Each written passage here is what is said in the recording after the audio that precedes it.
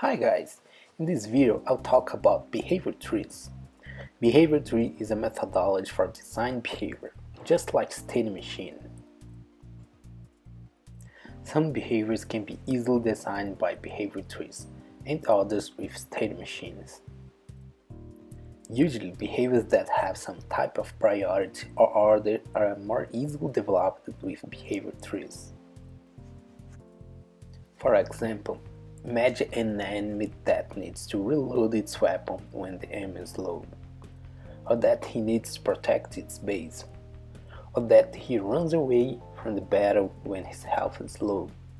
In this video, I'll develop a very simple behavior tree it will move the cube to the green square again. But when it gets there, it will wait an interval time and then move back to the blue square. The V square it will wait another interval time and then repeat this movement. I use again the move to node.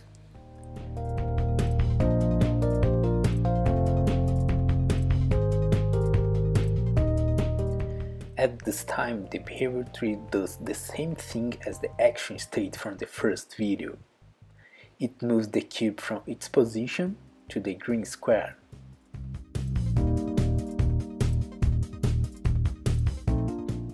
The main difference between the tree and the action state is that the behavior trees has some more nodes, the branch nodes.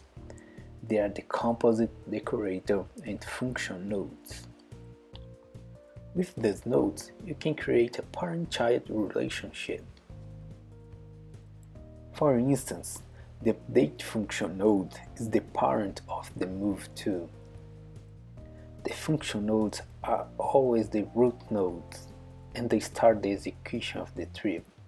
The composite nodes are used to decide which nodes should be run and the decorator nodes add spatial behavior to its child.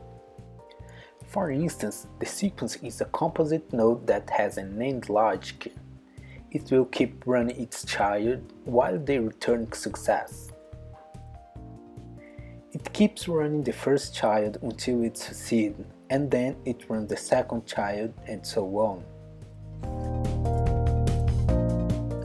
All nodes have an execution status, and you can visually see it in runtime by its highlighted color. For example, the move to has the blue highlighted color and for a frame it is green. The blue color means that the node needs more than one frame to finish its execution. The blue color is the running status. And the green color means that the node has succeeded and finished its execution. The green color is the success status. That's also the failure status yellow color and error status, the red color. These status are used by the composite nodes to decide if they should stop or keep run its children. I use the wait node to wait 2 seconds.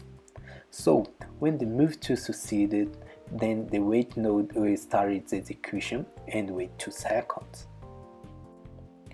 I will also duplicate the move to and the wait node, but the destination of this move to will be the blue square. Let's hit play. The move to finish its execution and then wait 2 seconds. The second move to start its execution and then wait 2 seconds. There is no explicit transition between nodes. They don't know each other and all the execution is decided by the running status of the nodes. This is the major difference between trees and state machines. Thank you for watching.